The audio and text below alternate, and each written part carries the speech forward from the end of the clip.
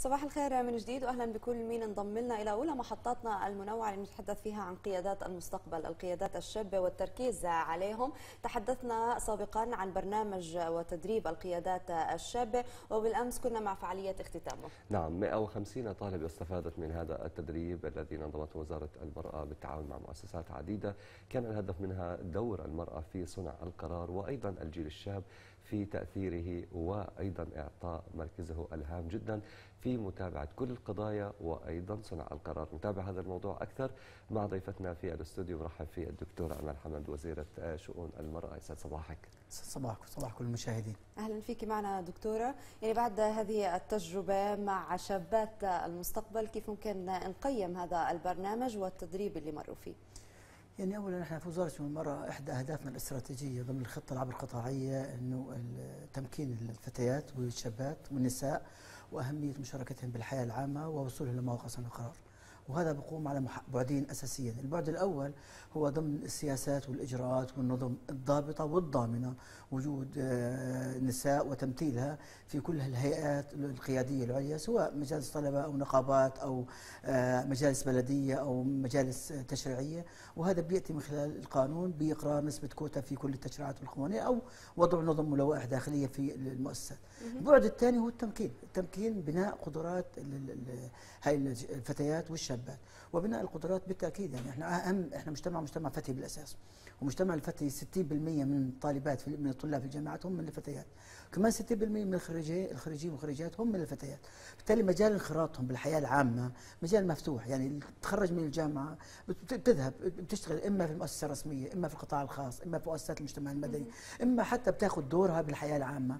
وبالتالي في مسؤولية في إطار تمكينها. إذا تم تمكينها وأخذت كافة المهارات المناطة فيها في بناء شخصيتها ومستوى آه، تأثيرها في المجتمع الفلسطيني بتكون هي قادرة تكون قيادية مؤثرة في صنع القرار في الموقع الذي تكون فيه وبالتالي هي تجربه اشتغلناها مع 14 جامعة. 14 جامعة وكلية على مستوى المحافظات الشمالية وهذا برنامج كان برنامج نوعي. إحنا اولا متوجه بالشكر لوزارة التعليم العالي والبحث العلمي ثانيا متوجه بالشكر للجامعات ال14 اللي حضروا معنا على مستوى عمداء شؤون الطلاب حضروا معنا على مستوى المنسقين. كان في شراكة جدية وعالية جدا واهتمام بالغ من قبل الجامعات لأنه اعتبروا هذا البرنامج برنامج نوعي. البرنامج النوعي إنه إحنا دربنا 150 بس الآن 150 هذول راح يأخذوا تي أو تي يعني تدريب مدربين راح ينقلوا مهاراتهم اللي تدربوها وبناء قدراتهم كمان للطالبات. الجامعات زميلاتهم في داخل الجامعات. وبالتالي هذا راح يمكننا من نشر هذه الثقافة الثقافة أولا الوطنية والاجتماعية والسياسية والقضايا وفي أهمية وصولها إلى صنع القرار. عندنا برنامج راح نستكمله كمان في المحافظات الجنوبية لأنه هذا برنامج متكامل. إحنا هذا الجيل إذا قدرنا نهتم فيه بنعمل التحول. التغيير كيف؟ التغيير بيكون قائم قائم على هذا الجيل في مستقبل حقيقي بقيادات متمكنة من مهاراتها متمكنة من آه، بعض السياسات والخطط والبرنامج متمكنة من قدرتها على الاتصال مهارات الاتصال والتواصل وقناعتها وإيمانها بدورها الاجتماعي ودورها السياسي في المجتمع الفلسطيني نعم. وهذا كان بوابة بوابة جدية حقيقية لهذا العمل في نعم. يعني إحنا بنحكي عن 150 طالب استفادوا من هذا التدريب آه، كنت بدي أسأل السؤال المهم هم كيف عبروا عن هذا التدريب؟ كيف لمسوا هذا التأثير المهم جدا؟ وطبعا نتحدث عن جيل شاب اليوم بيعيش دور التأثير كبير على مواقع التواصل الاجتماعي في العديد من القضايا الوطنية وأيضا القضايا المحلية الداخلية. كيف لمستوا أثر هذا التدريب على الطلبة؟ يعني أولا عشان نكون واضحين إحنا لم نختار 150 اعتباطا. لا تم تنزيل إعلام في داخل الجامعات. دخلوا في آه، رشحوا ذواتهم ودخلوا في مسابقة اختارتهم الجامعة بالتعاون مع وزارة التعليم العالي والبحث العلمي وبالتالي الاختيار لم يكن لا اختيار انتقائي ولا اختيار آه، فردي لا اختيار كان بناء على معايير ومهارات محددة وقابلية ذاتية لدى هؤلاء الفتيات أنهم عندهم قدرة على أنهم يكونوا شركات في آه، أدوارهم المستقبلية. الانطباع الغير مسبوق. أنا بعتبر يمكن نفذنا العديد من البرامج مع شرائح مجتمعية واسعة لكن أف أفضل برنامج نعتبره برنامج ترك آثاره لدى المتدربات والمدربين يمكن هذا البرنامج ترك آثاره لدى الجامعات اللي الآن بتطالب بكيف نوسع هذا البرنامج كيف نشارك أكبر شريحة ممكن كمان من الشباب. يعني ما يظلش مقتصر على الشابات وهذا التوجه الحقيقي إنه القادمه راح يكون الشراكة بين الشابات والشباب الشباب لأنه عملية التغيير بدها أطراف المجتمع كلها بدها الشراكة الجدية حقيقيه بين هؤلاء. بالتالي الفتيات طالبوا بمزيد من التدريب طالبوا بمزيد من الاستمرارية. أهم من ذلك إنه آه، نسجوا أكثر من من جروب أكثر من من مجموعة. الجروبات اللي نسجوها هي اولا خلقت حالة التواصل بين الجامعات. يعني كانت سابقا كل جامعة بتشتغل لوحدها بيرزيت لحالها النجاح لحالها بيت لحم لحالها.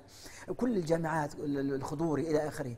اليوم لما جلسوا مع بعض هي الحلقة كانت الغائبة انكسرت وصار في تواصل بين طالبات في داخل الجامعات بين العمداء في داخل الجامعات بين المنسقين في داخل الجامعات وبالتالي شكلوا مجموعات للتواصل الاجتماعي لأهمية تبادل الخبرات لأهمية الاستفادة من المهارات اللي موجودة مع شريحة وتنقلها إلى شريحة ثانية وهذا كان إحدى المفاصل الأساسية. الشغله الثانية في داخل الجامعة نفسها كمان. داخل الجامعة نفسها كمان هذول الطالبات بدأوا ينشئوا مجموعات متخصصة داخل الجامعة ويفكروا كيف عملية الاتساع. الاتساع لها علاقة جغرافي ولها علاقة بطالبات الجامعة لأنه الجامعة بتيجي من جامعة متنوعة بتيجي من صحيح. محافظات مختلفة ومن آه، ثقافات بعض الثقافات اللي بتختلف في بعض المحددات وبالتالي أصبح هذا في انتشار جدي في آه اهتمام بالغ. وأنا بقول لك الغريب أنت بتعمل تدريب 150 بيجوا 150 بغيبش حدا فيش حدا. يعني يوم ما بنخ... إحنا اخترنا طبعا عملناهم في آه، احد الفنادق في نابلس في الأول وبعدين في احد الفنادق ناموا يومين في آه، نابلس وفي اريحا وبعدين جبناهم على رام الله. يعني في أكثر من محطة وأكثر من مكان. تعرف على الجغرافي التواصل الحديث الاجتماعي الحديث السياسي البعد الوطني وهذا الوقت الطويل اللي يعني قضوه مع بعض مهم جدا يعني. في زاوية أخرى بدي أتحدث فيها دكتورة أمال ويمكن دائما نتحدث فيها دائما التدريب والخبرة العملية هي مهمة لحتى نكون موجودين في السوق ولكن في ذات السياق إحنا بحاجة لتشريعات وهذا ما ذكرتيه في بداية حديثك فيما يخص الكتات. بالتالي عملكم وآلية العمل والجهود المبذولة في هذا الموضوع لحتى نوازي ما بين الخبرة العملية اللي صارت موجودة عند شاباتنا وما بين الفرص أيضا اللي تمكنهم من دخول هذه الحياة العملية ومراكز صنع القرار. وأيضا في ذات الإطار لأي مدى في مسؤوليه على الشابات نفسهم لحتى يدخلوا أكثر لحتى يسعوا أكثر لإيجاد هذه الفرصة ولتغيير في هذا الموضوع. يعني أنا بدي أحكي بشكل واضح. اولا المسؤولية مشتركة. مسؤولية على صانع القرار على اللي بيوضع السياسة والخطة والبرنامج. المسؤوليه على اللي بيشتغل كمان في إطار التدريب والتمكين. هل فعلا هي برامجه وصلت للفئات المستهدفة بشكل حقيقي؟ هل وصلهم؟ والمسؤولية الثالثة على الطالبة أو الطالب نفسه إنه هذه الطالبة كيف هي كمان تفاعلت؟ كيف هي كان في عندها صفة الاستمرارية والاستدامة في هذه السياقات اللي مطلوبة منها؟ بالتالي صارت المسؤولية في ثلاث اتجاهات. إضافة إلى ذلك هي بعض التشريعات اللي بنتحدث عنها. إحنا بنحكي عن تشريعات بنحكي عن قوانين. التشريعات والقوانين اللي بنحكي عنها هي كمان بتتطلب منا كلها كيف نفكر كيف نحط النساء عشان هيك إحنا بنحكي عن نسبة الكوتا اللي يمكن قانون الانتخابات العامة وصلت 26% اللي تم إقراره واللي كنا بنتأمل نصل إلى 30% انسجام من مقر المجلس الوطني والمجلس المركزي لمنظمه التحرير الفلسطينية. بنحكي عن الانتخابات المحلية القادمة والانتخابات المحلية القادمة أنا بقول لك شغلة إحنا يمكن صار في نقاش مطولا على مناطق الأولى اللي هي مناطق سي إنه نسبة النساء هي 20% كيف ممكن نزيدها ل 30% ويمكن لأنه إحنا ذاهبين تجاه القانون وتجاه سرعة الانتخابات. وعشان نعمل تعديل بالقانون يحتاج إلى وقت. عشان هيك إحنا راح نذهب تجاه مناطق ألف وباء راح تكون نسبة اللي هي المناطق الكبيرة اللي بتشكل 70% من عدد السكان راح تكون نسبة النساء فيها 30% وإحنا بنضغط تكون الكوتا موجودة حاضرة عشان تمكن النساء عشان تعطي فرص للنساء. وأنا بقول إحنا لما بنشتغل هذا البرنامج تحديدا في المناطق اللي هي مناطق سي المناطق اللي عدد سكانها قليل جدا هذا بيعطي فرصة إنه هي تبرز ذاتها تبرز دورها تبحث عن دورها الحقيقي في إطار العمل. هذا مش بس هذا مجالس الطلبة في الجامعات مجالس الطلبة في الجامعات. يعني أنا بلاحظ شغلة مجالس الطالبات بعض الطالبات اللي بيكونوا في مجالس الطلبة لما بيخرجوا من الحياة الجامعية وبيروحوا للحياة العملية بيتركوا دورهم السياسي بيتركوا دورهم الاجتماعي وبينخرطوا في دورهم دور الأسرة ودور الدور الوظيفي. هلأ الدور الوظيفي مهم ومفصلي لأنه في حياة كريمة لأنه أنت تعلمتي دورك بالأسرة بناء الأسرة إحنا نفتخر بدورنا في, صحيح. في داخل الأسرة. لكن هذا لا يغني انه لنا دور حقيقي وأساسي بالحياة العامة.